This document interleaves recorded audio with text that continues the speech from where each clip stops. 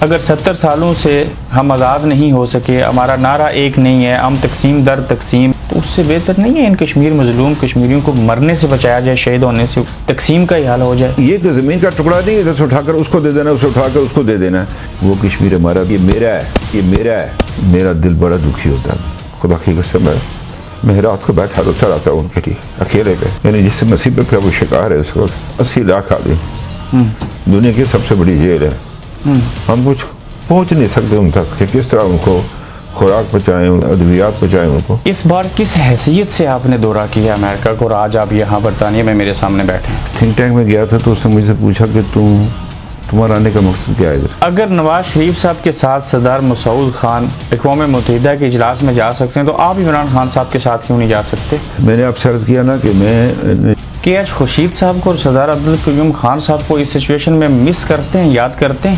بالکل کرتے ہیں ابراہیم خان صاحب کو مس کرتے ہیں۔ یہ نریندر مودی کس بلا کا نام ہے؟ یہ ہٹلر کا نیا جنم ہے۔ کہ اس کا توڑ کیا ہے؟ اس کا توڑ کر سب سے زیادہ اگر کوئی خطرے میں کشمیر تو ہی ہے نا؟ ہم تو پچھلے ستر سال گزرے ہیں سب سے زیادہ خطرے میں پاکستان ہے۔ اگر کشمیری پہلے سے کہتے ہیں کشمیر بنے گا پاکستان تو بھارت کیسے ریفرنڈم کروائے گا؟ نہیں لکھا کہ جموں کشمیر پاکستان کا حصہ ہے۔ یہ سیاسی نعرہ ہے پھر کشمیر بنے گا سیاسی ہے پاکستان؟ تو سیاسی ہے نا سیاسی نعرہ ہے کشمیر کشمیریوں کا ہی ہے۔ یہ بالکل یہی ہے اور کشمیری نے فیصلہ کرنا ہے اس کا۔ تو لبریشن فرنٹ کے نوجوان جو ہیں وہ کنٹرول لائن کو عبور کرنا چاہتے ہیں۔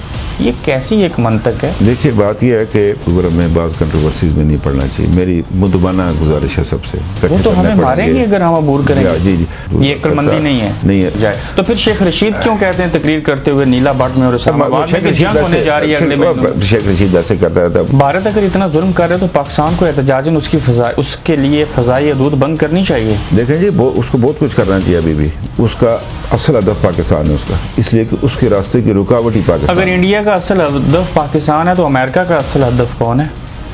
دیکھیے اس طرح تو امریکہ کے بہت سارے کہتے ہیں۔ ہیں کہ ہم کشمیر میں سالس بنیں گے؟ ڈونلڈ ٹرمپ کی اسٹیٹ دیکھیں میں آپ سے بھٹو صاحب کی جو کتاب تھی نا تو میری ریاست میری کشمیر کے لوگوں کو یہ بتائیں کشمیر بنے گا پاکستان کشمیر بنے گا خود مختار الحاق۔ ان کی تشریح کیا ہے یا کچھ اور پہلو بھی ہیں آپ کے ذہن میں؟ پہلی بات یہ ہے یہ کنفیوز ہیں لوگ۔ جی جی جموں۔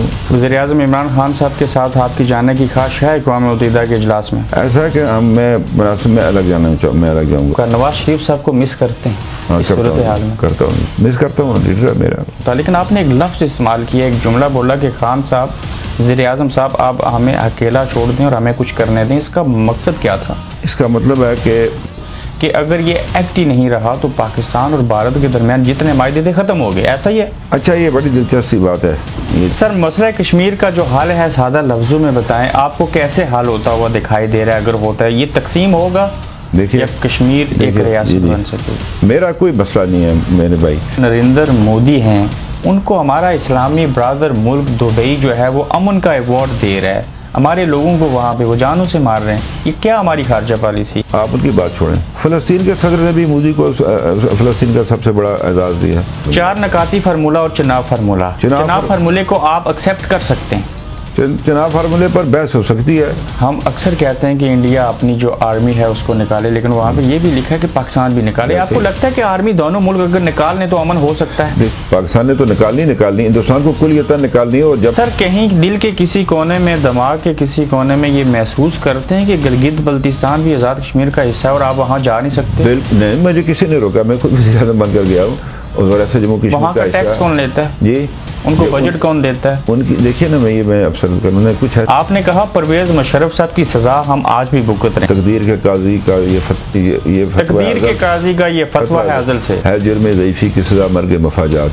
ہے مفاجات۔ سر آپ نے کہا کہ ریاست جموں کشمیر جو آزاد کشمیر کی حکومت ہے بالخصوصیت تسلیم شدہ ہے اور اقوام متحدہ اس کو مانتی ہے۔ پاکستان کیوں نہیں مانتا اس کو؟ ہم یہی کہتے ہیں کہ اس حکومت کو آپ ہری سنگھ کی حکومت کے طور پر تسلیم کریں۔ یہ راجہ فاروق حیدر خان ریاست جموں کشمیر کے وزیر اعظم ہیں یا صرف آزاد میں میں افسر کرتا ہوں اسی طرف آتا ہوں۔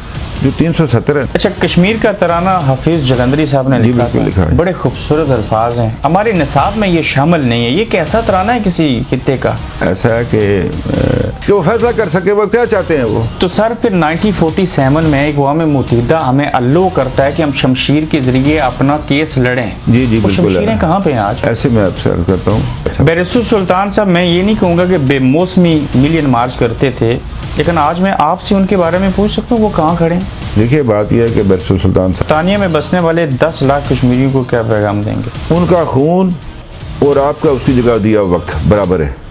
پھر مولانا فضل الرحمان کیوں کہتے ہیں کہ عمران خان جو ہے وہ ہری سنگھ ہے؟ اب وہ میں تو تھا نہیں۔ کیا ہم کشمیر میں کشمیر پریمی لیگ مظفر آباد میں جو کروا رہے ہیں آپ کے ذریعے سرپرستی ہو رہا ہے اس کو کروا سکیں گے؟ دیکھیے جو کشمیر کی موجودہ صورت ہے اور اس میں میں شادی بیاہ کو بھی جو ہے نا شادی سے کرنا چاہیے۔ ان مظلوم کشمیریوں کو انہی ہی کی زبان میں کوئی پیغام دے گی؟ میں ان بین تو بوئیو تو فکر مہ کر۔ آزاد کشن سلوک تو پاکستان سلوک انشاءاللہ تو یہ سوچ تو انشاءاللہ تعالیٰ آزادی سون مقدر انشاءاللہ۔ انشاءاللہ۔ آج میں کوئی شعر نہیں آپ سے پوچھ رہا کسی اور چیز کے بارے میں ذکر نہیں کر رہا۔ میری ریاست کا جو ترانہ ہے جی، اس جی۔ کے پہلے دو بول بول دیں وطن ہمارا آزاد کشمیر وطن ہمارا آزاد باغوان بہار مولا جنت کے نظارے مولا۔ تھینک یو ویری مچ آپ کے ٹائم کا بہت شکریہ۔ آپ دیکھ رہے ہیں گورکھ دھندا ابرار قریشی کے ساتھ۔